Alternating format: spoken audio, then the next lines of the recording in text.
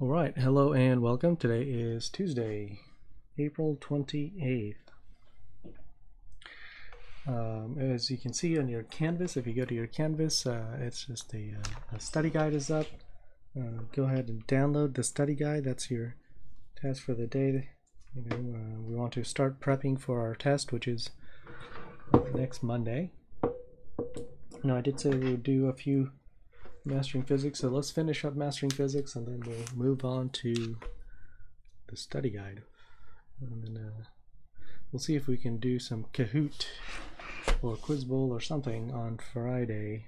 Uh, if we have enough people, that is. So tell your friends to wake up early. Alright, so uh, we finished off 13 and now we are on 14 almost done. Uh, it's similar to similar to the series circuit uh, where you had a switch. Now we have a parallel circuit with a switch. Um, here, mastering physics, number 14. So we start with the battery. We have three branches. Ooh. Drawing sideways. Let's see.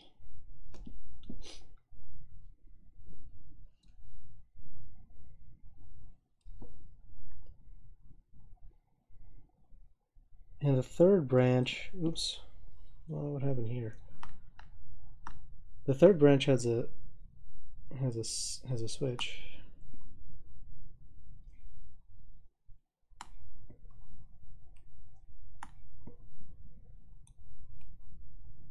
Like so. Of course, let's consider the circuit shown in the figure with three light bulbs. Uh, each of them are a resistor R, so it has R amount of resistance. It's a variable. Uh, they're all parallel. The circuit also contains an open switch. All right.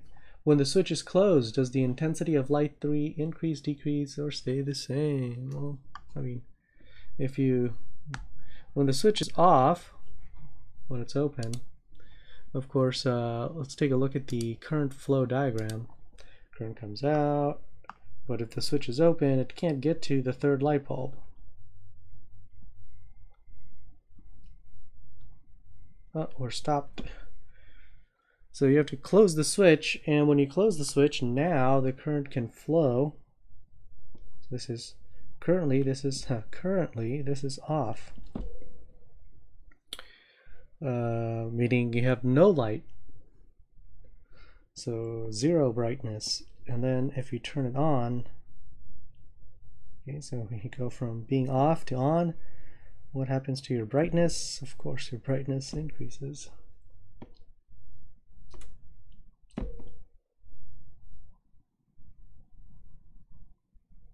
Okay, so when you turn it on, it's on now. And that means this, even though I drew it as a resistor, I should do light bulbs, so there we go.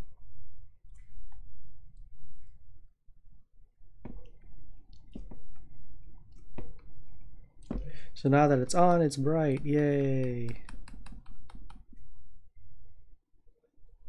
So yeah, you go from off to on, it's brighter.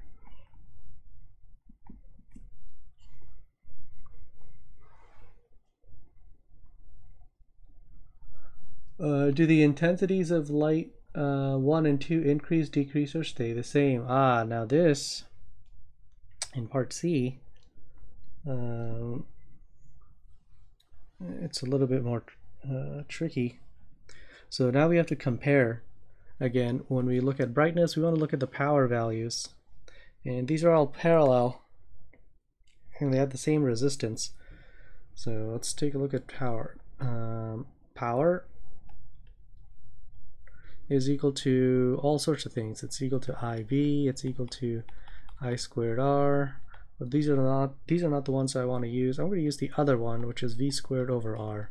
Now why did I choose this third one? Well, because I know what the resistance is. It's R. And I also know what the uh, voltage is. It's V amount of volts. It's whatever the battery is.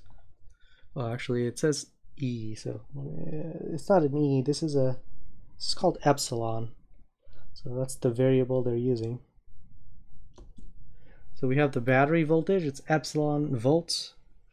And then we have the resistor resistance, R, resist, uh, R ohms. And so we can figure out what our power is, okay? Resistors that are in parallel have the same voltage. So the all three of these resistors are parallel to the battery, so they have to have the same voltage. Um, so P1 is equal to V1 squared over R, and that's equal to epsilon squared over R. Okay. P2 is equal to same thing, it's the same voltage, so it's epsilon squared, and it's the same resistance over R. Oh look, P1 and P2 are the same when it's off, okay. When it's on, nothing has changed really, because the voltage of P1, the voltage of P1 is still epsilon, because that's what the battery is. The battery is not changing. Uh, And same thing with number two. Power two uh, is still the same battery voltage squared divided by the same resistance, right? The fact that you turned it on did not change the brightness of these bulbs. That's why, that's why in your homes, all of your connections, every single outlet port is a connection in parallel.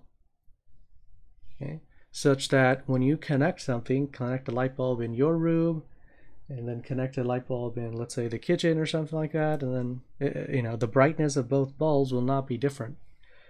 Both light bulbs will get the same voltage. Now, of course, you're going to use more current, you're using more charges per second, okay? But all the electronics work independently and they work at the same voltage rating, right? Whereas we saw in series, the voltage does change. The voltage changes uh, when you have one or two. It matters.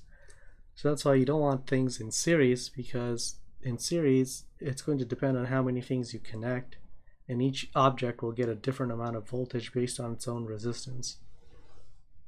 Okay, you can take a look at lab number one and see how the voltage drops were different and it was based on which resistor had the most resistance. In series, the more resistance you have, the more voltage you're going to drop. But in parallel, all the voltages are the same. So, as we can see here, P same.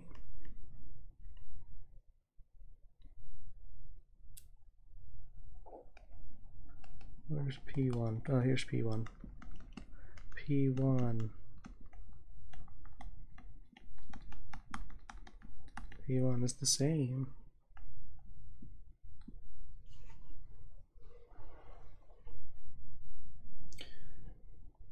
All right.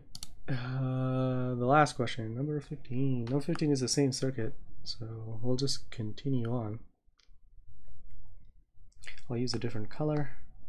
So I'll use pink. So whatever I write in pink is number 15.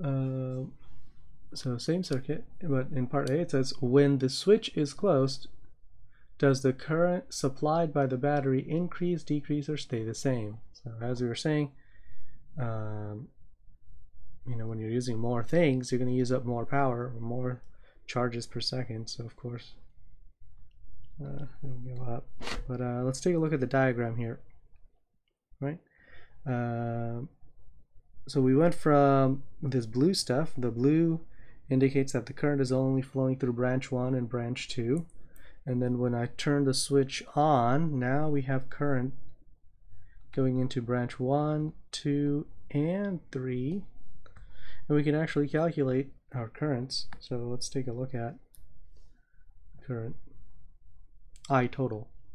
Well, I total before and after.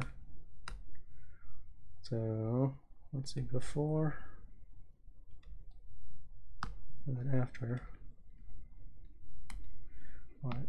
So before we turn the switch on, we only had two resistors that were working or two light bulbs that are working, right? So rec is equal to 1 over r, oh, whoops, 1 over 1 over r plus 1 over r, because there's only two. And the rec for 2 is just half of it, so that's equal to r over 2. Right, you get 1 over 2 over r, and then if you take the inverse, you get r over 2. Okay, so rec is half of R, then I total must be the total voltage over rec. Total voltage is epsilon, and the equivalent resistance, rec, is R over 2, which gives us 2 epsilon over R. All right, let's do the after case. Uh, after we turn the switch on, now we have three light bulbs on, so our rec changes. Rec is now 1 over 1 over R. It's 1 over R. It's 1 over R. Wow. No one is here today. Oh. Either Twitch is bugging out.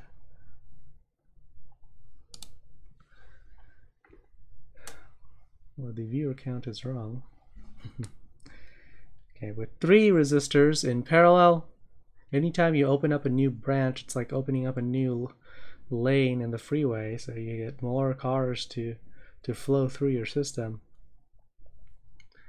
And if I do this, uh, we can see how the resistance is R over 3. It's now a third of R. It used to be half of R, now it's third of R. So it's even less resistance. And of course, if you have less resistance, you're going to get more current. I total is equal to the total voltage, the total voltage is epsilon from the battery, divided by the total resistance. So when, it, when you're measuring or calculating, I should say, when you're calculating total quantities, right, you want to use the total values for both the voltage and the resistance.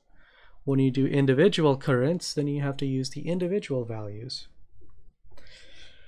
Uh, R over 3, and this gives us 3 epsilon over R. So definitely goes up.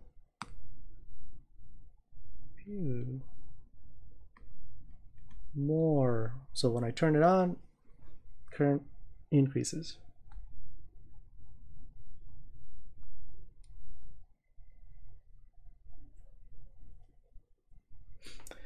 Uh,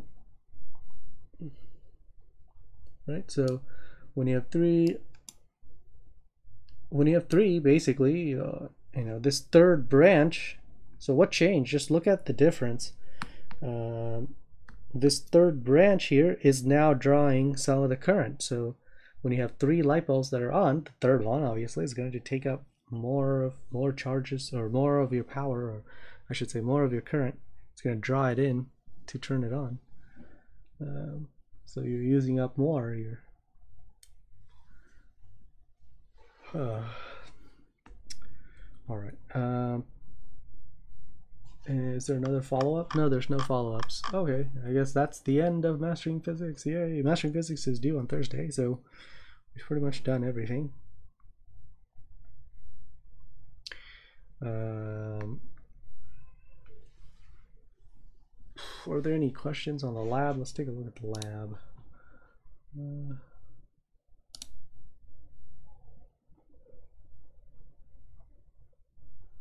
hmm. I don't think I have it. What?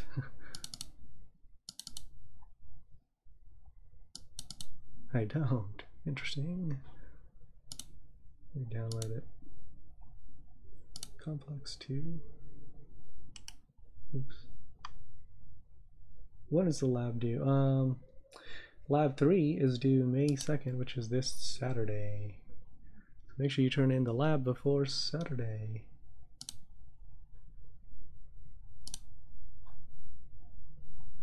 All right, um, so similar to to things we've done. This is our third time, our third time doing it. So I hope I hope it was a lot easier this time. Um, chat, how do you find total current in lab number three? So we're gonna make sure you finish. Oops, unit 10.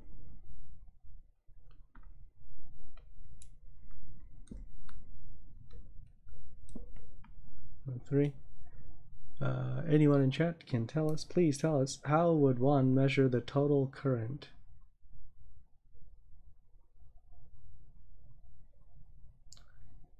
Remember in lab 3, the circuit was battery.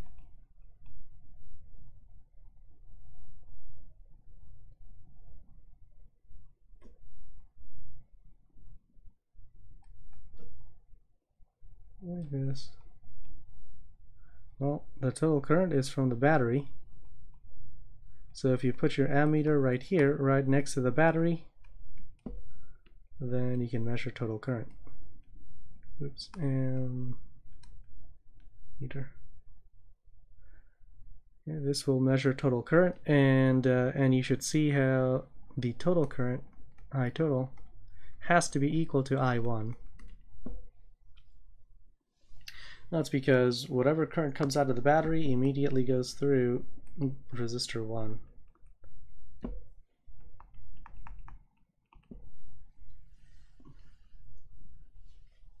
Okay.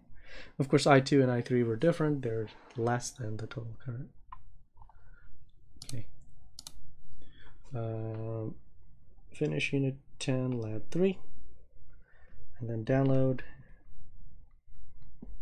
download unit 10 study guide.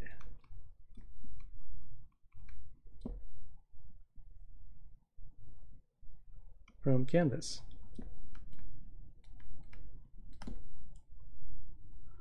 All right so go ahead and download your study guide start doing the study guide. Uh, this is a short stream today so thanks for tuning in. I'll see you next time